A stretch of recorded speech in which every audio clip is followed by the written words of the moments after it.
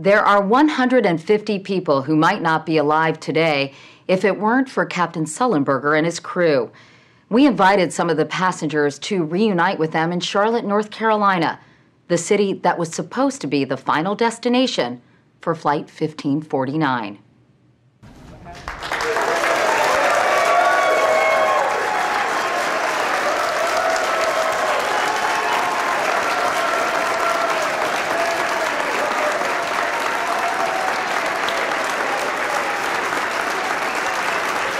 Hi.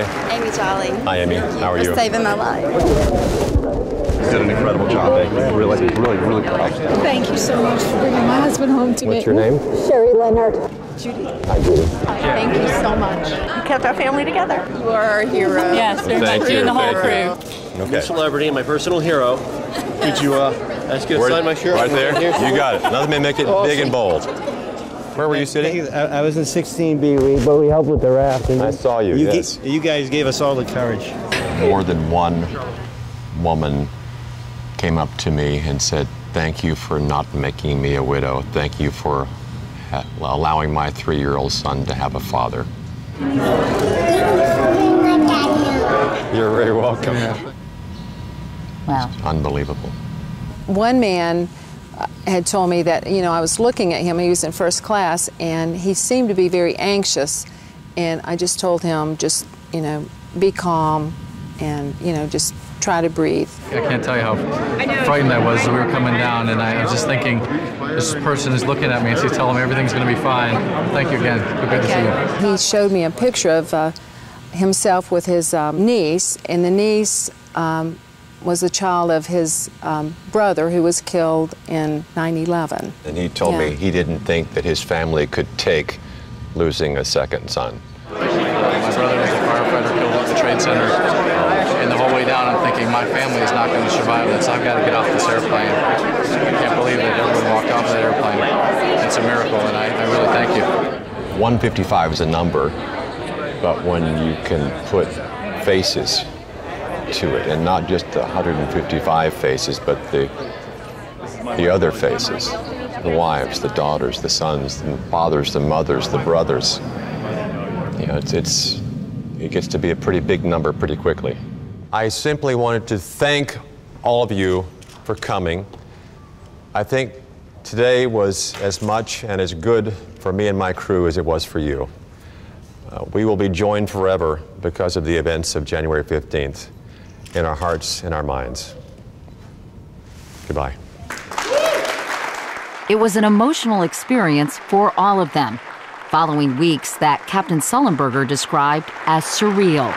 There was the Super Bowl, Please welcome the crew of U.S. Airways Flight 1549. the inauguration, and a chance to meet the president, and a celebration in his hometown of Danville, California. Captain Chesley Sullenberger is a true American hero. But like many of the passengers, the crew members are also having difficulty processing what happened, including Captain Sullenberger. One of the hardest things for me to do in this whole um, experience was to forgive myself for not having done something else, something better, something more complete. I don't know. But it had such a good ending, Yes, it did. and it could have had such a terrible ending. I know. But do you play this over in your head? The, the first few nights were the worst when the what ifs started. The second guessings would come. It made sleep hard. Like what? Just uh, replaying it, you know, the flashbacks. You know, did we, did, were we aware of everything we could have been aware of? Did we make the best choices? You know, all those kinds of thoughts. And when you think that way, do you regret anything that you did? No, not now. Captain Sullenberger says he plans to fly again, but he's not sure when. For now, he and his family are finding comfort going through the mountain of mail he's received from all over the world. Mr. Sullenberger, great job. I'd like to buy you a beer, albeit a cheap domestic one, $5 enclosed. God bless.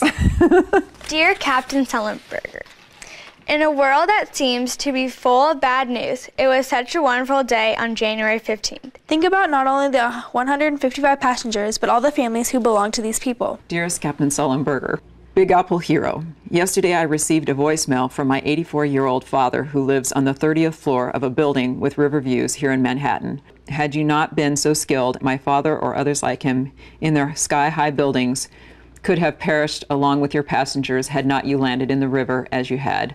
As a Holocaust survivor, my father taught me that to save a life is to save a world, as you never know what the person you've saved, nor his or her prodigy will go on to contribute to the peace and healing of the world. Bless you, dear Captain Sullenberger. New York loves you. That is my favorite one. Yeah, mine too. You've been called a hero by a lot of people. How do you feel about that? I don't feel comfortable embracing it, but I don't want to deny it. I don't want to diminish their thankful feeling toward me by telling them that they're wrong. I'm beginning to understand why they might feel that way. And why is that? Something about this episode has captured people's imagination. I think they want good news. I think they want to feel hopeful again. And if I can help in that way, I will.